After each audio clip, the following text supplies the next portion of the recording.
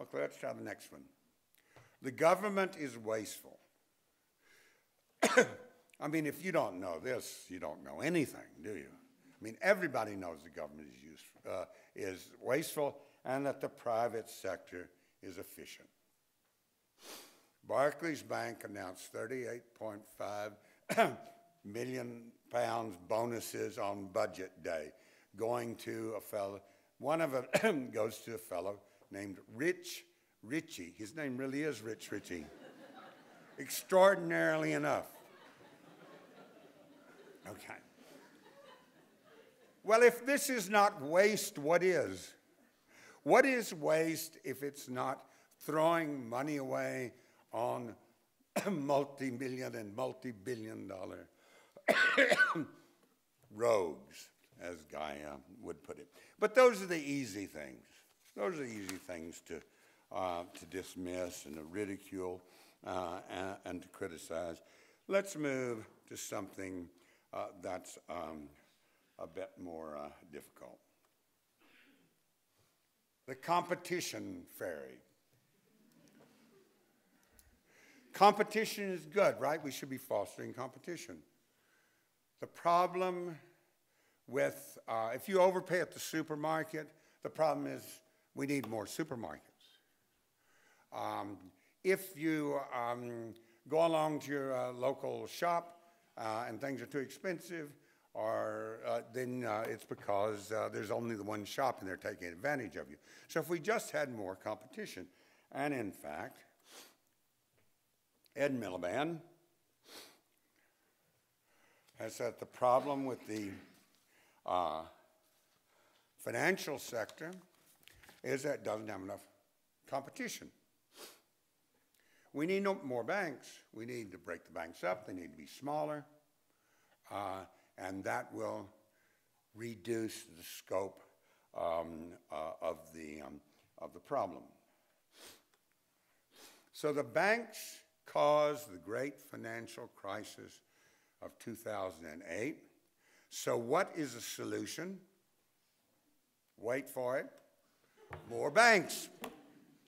So the banks were the ones that brought us all down and caused millions and millions of unemployed. And the solution that we've got to that terrible problem is let's get more banks in there. No, no, that is not the solution to the problem. The, the problem is that without public regulation on private wealth, the strong devour the weak. That is the problem. That is the law of markets. The banks are the clearest example. More competition in banks. Why did the Icelandic, entire Icelandic financial system collapse?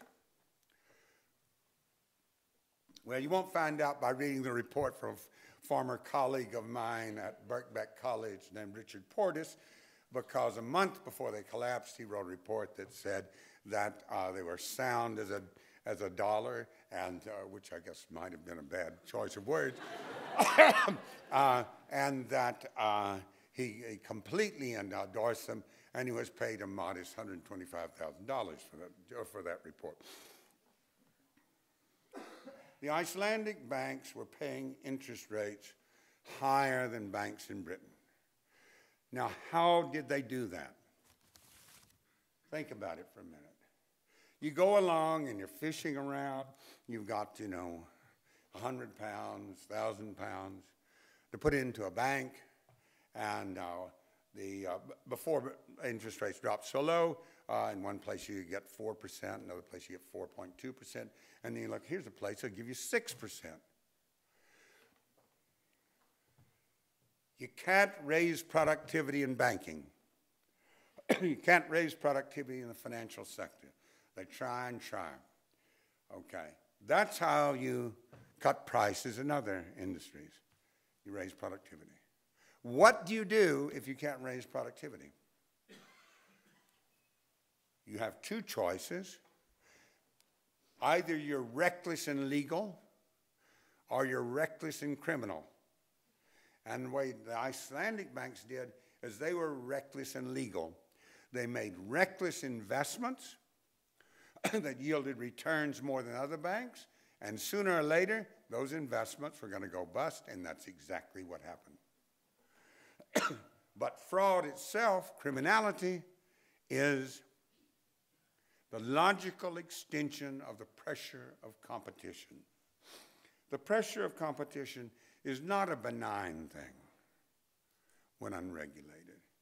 It drives companies to do reckless, fraudulent, criminal acts as a subprime crisis showed in the United States.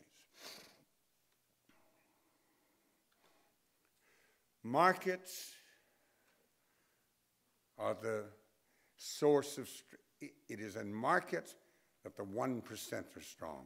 In unregulated markets, the 1%, the wealthy, the millionaires, the billionaires, that's where their strength lies.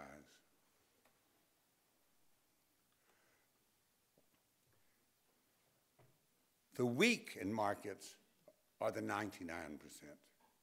We are the weak in markets.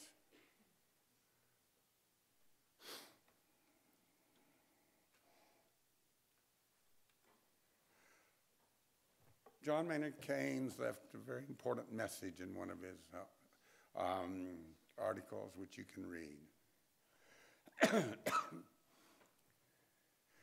I've left out part of it. At the end, he says, the love of money will be recognized as a pathological disease which needs to be treated by psychiatrists. And when we come to the day that we recognize that, there is some hope that we can implement economics of the 99%, not the 1%. Thank you.